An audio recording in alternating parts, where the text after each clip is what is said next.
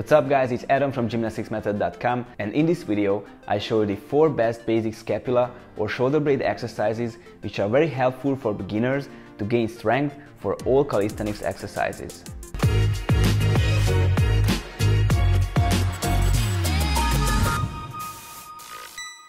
Alright, so you may ask yourself, what is shoulder blade workout? Are not shoulder blades bones? How is it possible to train for bones? Let me explain.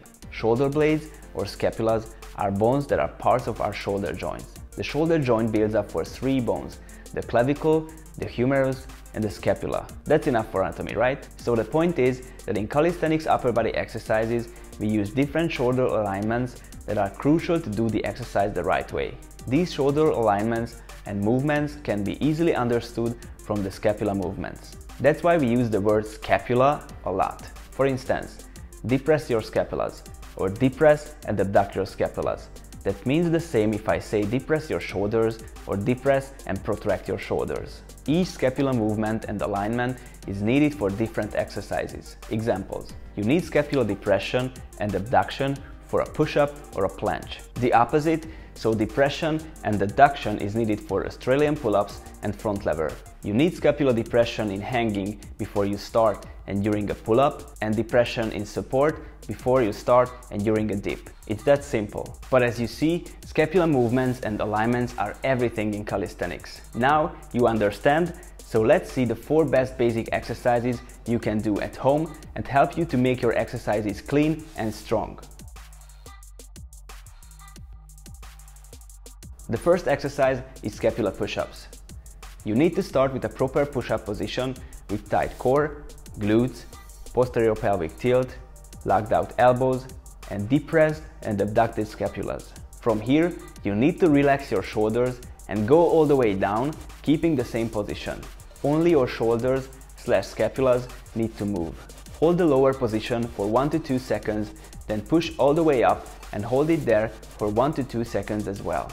Pay attention to the locked elbows, engaged core, and don't let your head to sag. Do 10 to 15 reps and then 10 to 30 seconds hold. The second exercise is scapular adduction in rear push-up position. I couldn't find out shorter name, but if you have an idea, write a comment down below.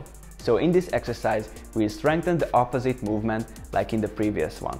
Start with bent legs and backward looking fingers. Keep your shoulders relaxed and push up your hips as high as your shoulder mobility lets you. From here, depress and adduct your scapulas. Keep your elbows locked and focus on the shoulder movement. Don't try to cheat with pushing up your head and only elevating your hips. You can do this movement with lower hips as well. The point is to feel the right shoulder and scapula movement. Do 10 to 15 reps and then 10 to 30 seconds hold. The third exercise is scapular depression in support. Use two chairs for this exercise. You only need to support on the chairs with locked elbows and straight trunk.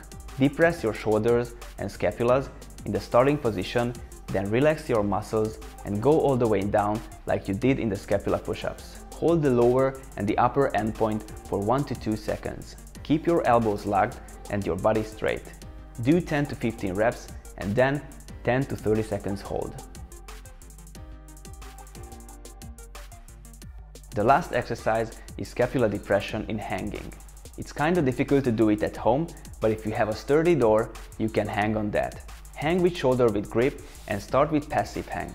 From here, depress your shoulders, imagine that you want to pull up yourself, but you can't bend your arms. Don't bend your arms at all, keep them straight all the time. Hold the lower and the upper endpoint for 1 to 2 seconds. Do 10 to 15 reps and then 10 to 30 seconds hold. Alright guys, so that's the basic shoulder blade or scapula workout that you can do at home. Scapula push-ups, scapular adduction in rear push-up position, scapular depression in support and hanging. All with 10 to 15 reps and 10 to 30 seconds hold. If you want to start a whole body preparation program that leads you step by step to the most advanced moves, click the link below and become a member on gymnasticsmethod.com and start your 7-day free trial today. Thank you for watching. If you liked this video and found it helpful, please like, comment and share. Subscribe and click on the bell if you don't want to miss the upcoming videos And for more free contents, follow us on Instagram, Facebook, and TikTok. Also, please leave a comment down below. What do you want to see in the next videos? Thanks again and see you next Friday.